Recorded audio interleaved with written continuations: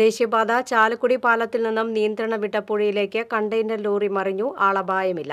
ലോറിയിലുണ്ടായ രണ്ടുപേർ അത്ഭുതകരമായി രക്ഷപ്പെട്ടു. രാജസ്ഥാൻ ഭരത്പൂർ സ്വദേശികളായ സാഹിൽ ഇമ്രാൻ എന്നിവരാണ് നീന്തി രക്ഷപ്പെട്ടത്. മുന്നിൽ പോകുകയായിരുന്ന കാറിനെ മറികടക്കുന്നതിനിടെ നിയന്ത്രണം തെറ്റിയ കണ്ടെയ്നർ പാലത്തിന്റെ കൈവരികൾ തകർത്താണ് പുഴയിലേക്ക് കൂപ്പുകുത്തിയത്. എന്നാൽ പുതിയ പാലത്തിന് മുകളിൽ പിൻഭാഗം കുടുങ്ങിയ ലോറി വെള്ളത്തിൽ പതിക്കാതെ തൂങ്ങിക്കടന്നു. ഡ്രൈവർമാരായ യുവാക്കൾ ക്യാബിനിൽ നിന്നും പുറത്തു കടന്ന് തൊട്ടടുത്ത ചെറിയ തുരുത്തിലേക്ക് നീന്തി കയറി. വിവരം അറിഞ്ഞെത്തിയ ചാലക്കുടി ഫയർഫോഴ്സ് ഉദ്യോഗസ്ഥരാണ് ഇവരെ കരക്കെത്തിച്ചത് ലോറിയുടെ ക്യാബിൻ വെള്ളത്തിലേക്ക് താഴാതിരുന്നത് രക്ഷയായി. എറണാകുളത്ത് ലോഡ് ഇറക്കിയ ശേഷം രാജസ്ഥാനിലേക്ക് പോകുകയായിരുന്ന കണ്ടെയ്നർ ലോറിയാണ് അപകടത്തിൽപ്പെട്ടത്. പോലീസും സ്ഥലത്തെത്തിയിരുന്നു.